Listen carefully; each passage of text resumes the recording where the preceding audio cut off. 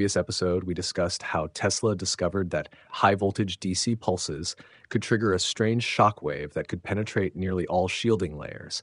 Tesla described it as a sonic wave of electrified air, which was clearly a metaphor.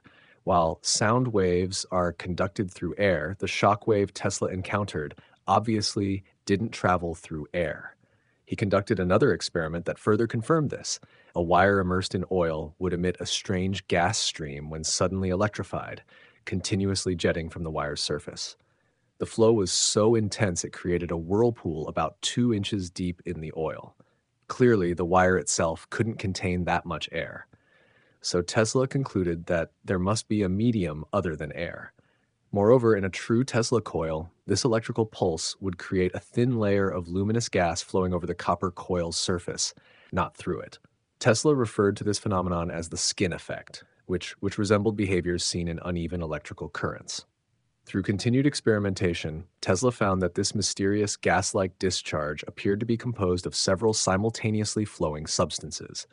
He began to understand why his high frequency AC machines had never produced such effects. Only sudden, powerful DC pulses could unlock this unexpected gaseous component. The key was the pulse, specifically a unidirectional pulse, which was the only way to unleash these phenomena. High frequency AC machines, with their sinusoidal voltages constantly reversing due to rotating brushes, could never trigger any of these anomalous effects. This is why Tesla regarded his high frequency AC experiments as failures. Tesla discovered this effect in 1889, and after extensive experimentation, he delivered a lecture titled The Dissipation of Electricity just before Christmas in 1892. This lecture marked Tesla's complete shift from high frequency AC to research in high frequency DC pulses. During this period, he referred to these strange phenomena as radiant electricity. Incidentally, the term radiant electricity frequently appears in modern explanations of various electromagnetic pulse based free energy devices, all of which trace back to Tesla's original work. So, what exactly was this mysterious gas that wasn't air? Tesla believed it was none other than ether. In the Victorian era, scientists widely believed that the universe was permeated by an ultrafine gas they called, they called ether. Light was thought to propagate through space within this medium. In fact, space was not seen as a pure vacuum. Ether was thought to fill that void. Strictly speaking, the term fill may be misleading, as space isn't truly empty. Its very concept is defined by its medium. In that sense, ether is space itself. The first scientist to systematically explore the concept of ether was Dmitri Mendeleev, the father of the periodic table. In 1904, he published a pamphlet titled A Chemical Concept of the Ether, in which he proposed that ether was an interstellar atmosphere composed of elements far lighter than hydrogen, possibly as light as 100 millionth of hydrogen's mass. Mendeleev believed these gases were inert, passing through all matter without reacting with it. Although these pre hydrogen elements were unknown, Mendeleev included them in his periodic table, just as he had predicted other elements before their discovery in 1869. Tesla strongly supported Mendeleev's theory. The shock waves he observed were gaseous pulses with electrical properties behaving like explosions, but clearly not composed of any known atmospheric gas. These pulses moved along the surface of his coils at speeds faster than light.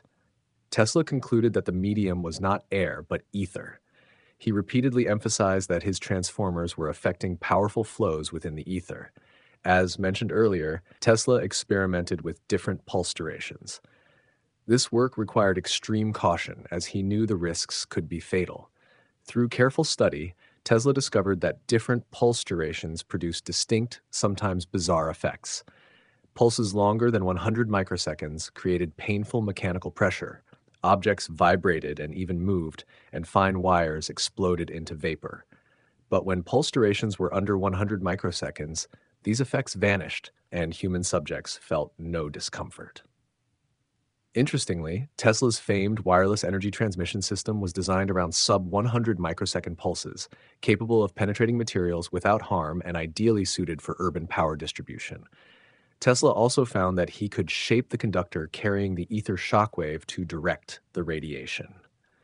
The best radiative symmetry occurred with semicircular wires arranged in circular patterns. If radiation could be focused in a specific direction, then targeted wireless energy transmission became feasible. Even more astonishing were the effects of shorter pulses. At 1.0 microsecond, Tesla felt a strong physiological heat. As the duration decreased, radiant ether pulses emitted brilliant white light that illuminated entire rooms. With even shorter pulses, the room would cool, producing a cold breeze accompanied by feelings of joy and enhanced awareness.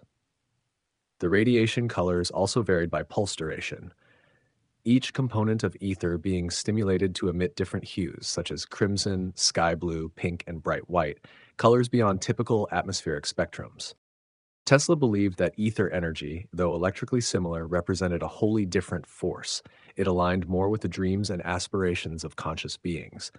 He suspected a direct link between ether energy and human consciousness. By exposing himself to the shortest ether pulses, Tesla noticed an enhanced state of awareness. The longer the exposure, the stronger the effect. Understanding ether is crucial to grasping Tesla's technology. The overwhelming evidence suggests that Tesla was the first to discover the ether gases Mendeleev theorized. Tesla proposed that ether flows were being pulled through his transformer under higher natural pressures and accelerated through rapid discharges. Conventional electrical theory couldn't explain his devices. Therefore, Tesla's work must be understood as ether technology, not electrical technology. In another mind bending experiment, uh, Tesla described how ultra fast pulse sequences generated a cool, misty white stream of light that extended into space. If these were electrical in nature, they would require voltages of several million volts to produce such effects. Yet they felt cool to the touch and were harmless to humans, completely contradicting known electrical properties. To truly understand Tesla's work, one must abandon the idea of electrons as the primary current carriers in his radiant energy designs. Conventional electron flow couldn't move fast enough. In real Tesla coils, electrons were immobilized within the metal lattice, while radiant pulses traveled over the coil surfaces. These were ether pulses, not electric pulses. To prove this, Tesla performed a shocking experiment. He connected a thick U-shaped copper bus bar directly to the primary coil and bridged incandescent bulbs across its arms. In theory, this short-circuited the bulbs. Any normal electric current would bypass them entirely. Yet the generator functioned perfectly, and the bulbs lit up with bright, cold white light. This proved that the energy lighting the bulbs wasn't from electron flow, but from separated ether streams. Tesla claimed that the radiant electricity separated electrons from the neutral ether flow. Electrons traveled through the copper bar, while the purified ether lit the bulbs. Tesla's radiant energy experiments aimed to extract pure ether by removing electrons. He believed current was a mixed flow of ether and electrons, and that electrons were a degraded, polluted form of ether. This is why Tesla transformers are not electromagnetic devices. They generate pure voltage through radiant shock waves without producing current. Today's so called Tesla coils are not true Tesla transformers.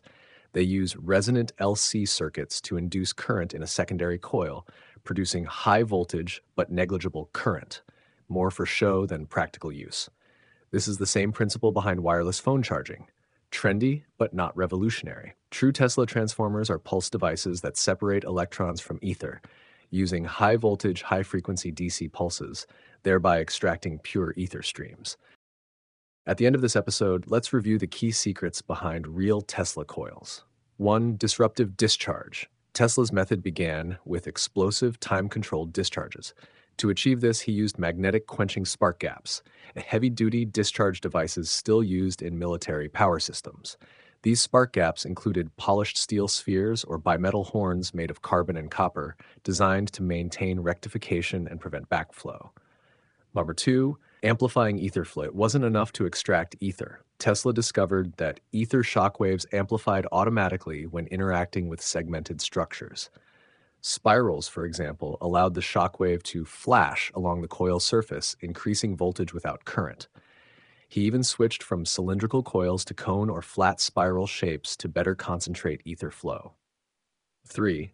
Mass resonance. Tesla found that the best results occurred when the mass of the primary coil equaled that of the secondary coil. This balance, unexplained by electrical theory, suggested the energy involved wasn't electrical. 4. Earth grounding. Connecting Tesla coils to the Earth significantly enhanced ether energy. 5. Pulse timing. Most importantly, pulse duration was the key to everything. Tesla once said, If you want to understand the secrets of the universe, think in terms of energy, frequency, and vibration. It's now clear that he was referring to ether energy, pulse timing, intensity, and resonance with matter. Tesla's theories were not about electricity, but about ether. With rare insight, he touched the very essence of our physical universe and unintentionally entered the realm of consciousness. The secrets of ether have only just begun to be revealed. In the next episode, we'll continue uncovering the mysteries of ether from Tesla's perspective. Stay tuned.